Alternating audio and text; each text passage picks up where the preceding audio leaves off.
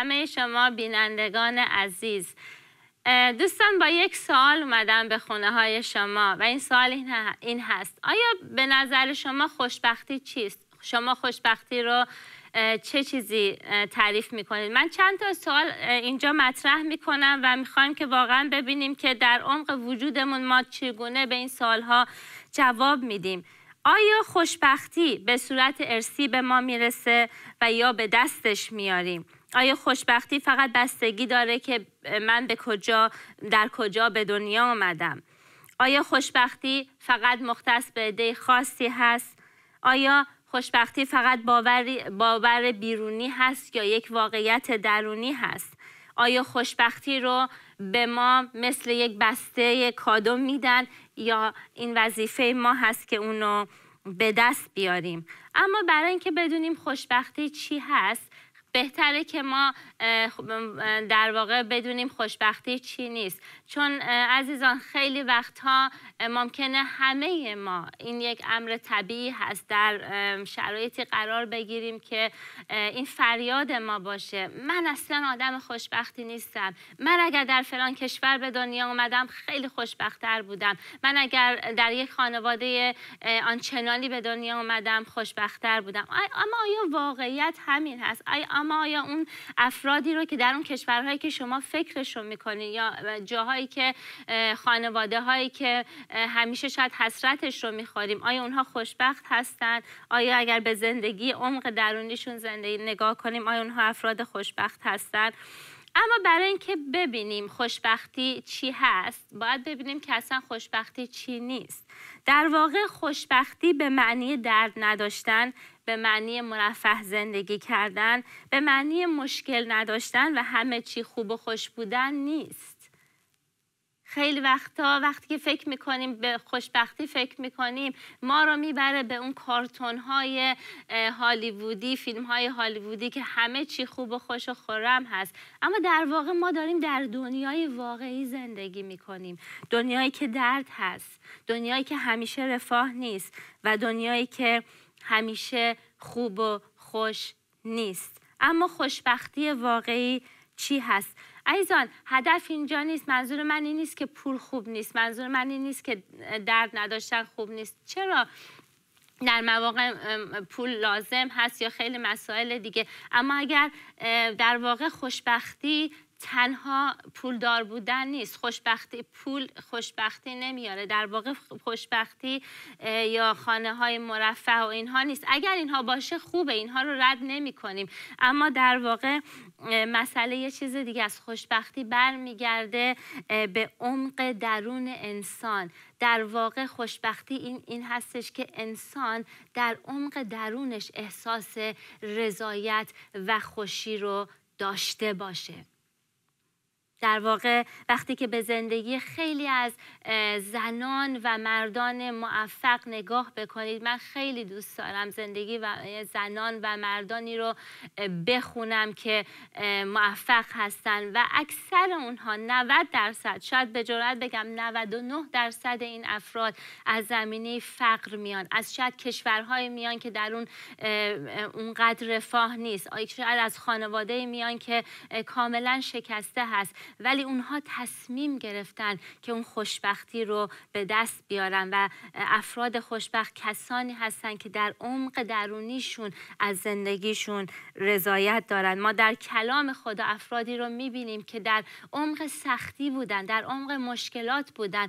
اما در, در عمق تمام اون مشکلات می‌تونستیم ببینیم که واقعا در عمق درونشون اون خوشبختی رو دارن یا دارن برای اون خوشبختی اون هدفی که خدا براشون داره تلاش می‌کنن. ما یوسف رو می‌بینیم.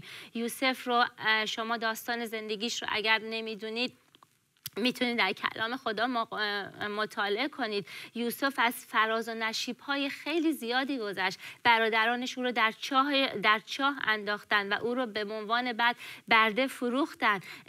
وقتی که به عنوان یک غلام داشت در خونه ارباب خودش کار می‌کرد به او تهمت زنا زدن. در زندان او رو فراموش کردن. اما می‌بینیم که یوسف امید خودش رو از دست نداد و آنچه را که به یوسف کمک کرد اون امنیت درونی او بود که به خدا داشت. عزیزان زمانی ما خوشبخت هستیم که به عمق درونمون نگاه کنیم. ببینیم ارزش ها و امنیت ما در کجاست. یوسف می‌دونست که حتما زمانی بوده که یوسف شاید شکایت کرده یا غمگین بوده اما اون امید خودش رو از دست نداشت چون می‌دونست اون خوشبختی واقعی اون امنیت درونی در اون امنیت واقعی در درون هست و اون و باید برای اون در, در حضور خدا و با خدا نه با خدا بجنگه ولی در کنار خدا به خدا ایمان داشته باشه و برای به دست آوردن اون تلاش بکنه. و همینطور ما پولس رسول را می‌بینیم. پولس رسول در رساله فیلیپیان در زندان این آیات رو میگه. میگه همیشه در خداوند شاد باشید. باز هم می‌گویم شاد باشید.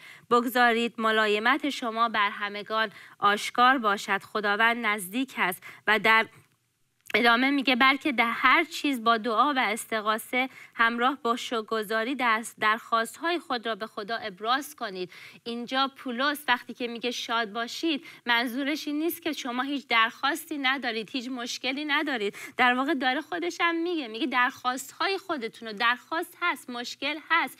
ولی در واقع اون مشکلات نیست که شما رو تعریف می‌کنه. این شما هستید که مشکلات رو تعریف می‌کنید. این شما هستید که تصمیم می‌گیرید با مشکلاتتون با دردهاتون با رنجهای زندگی چگونه دست و پنجه نرم کنید. این یوسف بود که تصمیم گرفت اجازه نده برادر عملکرد برادرانش او رو تلخ کنه. شاید یک زمانهای عصبانی بود ناراحت بود ولی اونو با خدا حل می‌کرد. پس عزیزان خوشبختی در واقع نیست که ما درد نداریم ما غمگین نمیشیم ما افسرده نمیشیم. ولی خوشبختی در واقع این هست که ما بدونیم با در چه منبعی و چه ریشه‌ای می‌تونیم با اونها مقابله کنیم. اینکه ما در خدا چقدر عمیق هستیم چقدر خدا رو می‌شناسیم. شناخت پولس در زندان انقدر عمیق بود.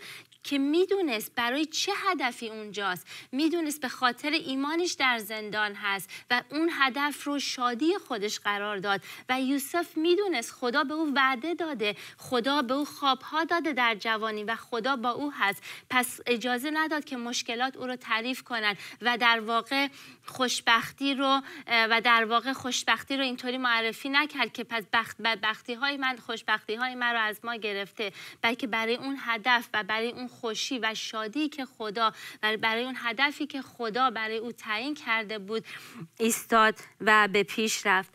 امروز پیغام خدا امروز پیغام خدا برای ما چی هست؟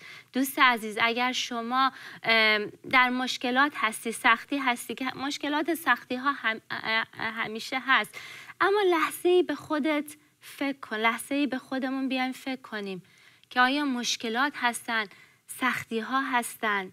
ما رو تعریف می‌کنن. یا ما هستیم که باید برای بیستیم و در حضور خدا استراتژی ها راهکارهایی پیدا کنیم و یا خیلی وقتا باید اجازه بدیم خدا عمل کنه.